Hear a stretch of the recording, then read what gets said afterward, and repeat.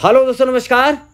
आदाब, मैं डॉक्टर उमर खान। आज आपके सामने रूम एनाटॉमी फ़ील्ड कंडीशन में कैसे की जाती है, ये पूरा नज़ारा आपको देखने मिलेगा। बेहतरीन वीडियो क्लिपिंग आपको मैंने डाली है। छोटा सा वीडियो डाला है, इससे पहले बहुत बड़ा वीडियो डाला था, अब की बार छोटा सा डाला है। किस तरीके से हमने ये non metallic plastic foreign body इसके अंदर से निकाली है। इसके क्या सिम्टम्स आते हैं? गाय कितने दिन से परेशान थी? क्या दिक्कत थी? ये सारी चीज़ आपको बताऊँगा। उससे पहले मेरी आपसे रिक्वेस्ट है कि मेरे इस चैनल को आप सब्सक्राइब करें लाइक और शेयर करें।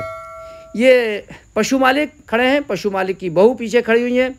मिस्टर दीपक की ये गाय है। ये बहुत बड़ी गौशाला है। इस गौशाला में और ये मेरे द्वारा ऑपरेशन किया गया है। गौशाला भी है और ये इनका डेयरी फार्म भी है। अब आपके सामने मैं पशु मालिक को लेके आता हूँ। अब पशु मालिक। इसके पेट से निकाला ऑपरेशन करके और इसमें अफारा रहता था। ऑपरेशन के बाद बाबू जी बताएँगे कैसा रहा ऑपरेशन कामयाब हो गया क्या हुआ? कामयाब हो गया अब आप खुश हैं? बिल्कुल खुश हैं। अब तो इतनी होशियार हो गई इतनी होशियार तो पहले ही नहीं रहती है भागने भागी जा रही है। ये बिल्कुल बढ़िया। आप इधर इधर से बनाओ। ये सारे लोग को ले लो इन्होंने मेरे ये पकड़े पहले पहले इसमें अरे लाओ। अरे रुक नहीं रहे देखो ये पास जाकर ले तो ये ऑपरेशन के बाद की कहानी देखिए बाबूजी से भी नहीं रुक रही है। कितनी ताकत आ गई इसके अंदर। ये देखिए ये अफारा खत्म हो गया। इधर ये अफारे के लिए किया। बस।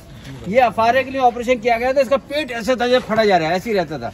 काफ़ी इतना तो कभी नीचे आई नहीं बाबू जी पसीने ना नहीं आया। ये है। ये बहुत ही कामयाब ऑपरेशन होता है।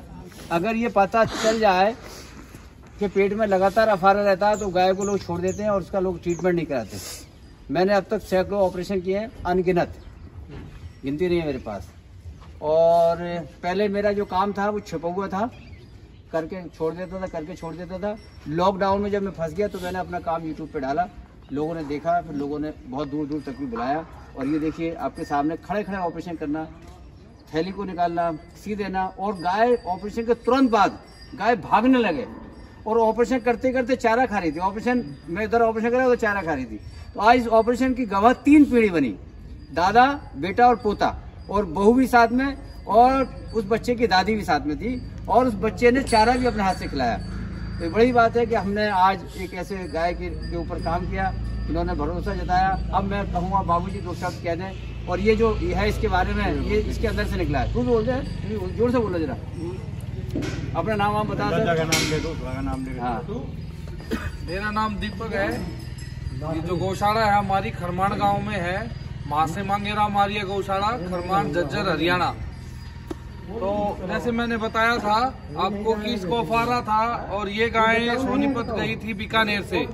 तो उन्होंने अपना पूरा ट्रीटमेंट करवा लिया था करीब डेढ़ दो महीने से वो इधर से उधर जितना भी उनसे बंद पड़ा उन्होंने करवाया। उसके बाद बोले कि भाई ये गाय घूमेगी फिरेगी तब ठीक होगी। जो कि हमने वो चीज़ भी करके देख ली पिछले दस दिन से तो कोई फ़र्क नहीं पड़ा। तो हमने डॉक्टर साहब की वीडियो देखी थी। वीडियो देख के ही हमने उससे अंदाज़ा लगाया और बोला कि आप आइए। तो जैसे इनको तीन चार दिन से हमारी बातचीत चल रही थी कंटिन्यू तो आज समय मिला, समय मिलते ही डॉक्टर साहब यहाँ इतनी दूर, करीब करीब से डेढ़ सौ, दो सौ किलोमीटर एक साइड का आना हुआ। आने के बाद ऑपरेशन किया। ऑपरेशन जैसे पेट पे चीरा लगा रखा था, उसकी सफ़ाई कर रहे थे, उसमें से ये निकला है, जो कि ये प्लास्टिक की है। मोरी बोलते हैं, जिसको मुँह बांधते हैं, ये मोरी निकली है इसके अंदर से। और मोरी निकालने के बाद पूरी सफ़ाई करी। पूरी सफ़ाई करने के बाद ऑपरेशन चल रहा था बीच में। उसी टाइम गाय भी खा रही थी।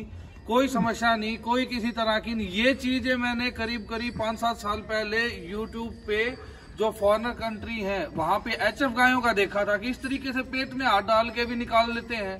और ये चीज़ मैंने आज अपनी आँखों से यहाँ पे देखा, अपनी गौशाला में। ये सब संभव हुआ डॉक्टर साहब की। बहुत बहुत धन्यवाद डॉक्टर साहब आपका। तो देखिए इन्होंने आपने जैसे इतनी जीव बचाए हैं गौ माता की जान बचाई है अब ये निश्चित ज़िंदगी अपनी पूरी व्यतीत करेगी वरना ये दस दिन पंद्रह दिन मुश्किल से जी पाती। ये अफारे की इधर आके बताइए पहले अफारा कैसा था अफारा है नहीं है इसको देखिए ये अफारा पहले तो यहाँ तक ये जो कोच है ये बिल्कुल पूरी उठी हुई थी। यहाँ से ढोलक की तरह यूँ भी बताते थे तो ये बचता था। अब ये हार्ट दिख रहे हैं पूरा बिल्कुल ये जो हड्डी दिख रही है ये कम ये नीचे चला गया। और फारा है ही नहीं इसके। और ये खा रही है तो ठीक हो जाएगी अब। बिल्कुल हमें कोई चिंता नहीं है ये गाय बचेगी अब। देखिए जब रोग समझ में आ जाता है और रोग निकल जाता निकल, निकल जाता है निकाल लेते हैं रोग। को चाहे आदमी का सही या पशु का सही तो पशु ठीक हो जाते हैं आदमी ठीक हो जाता है।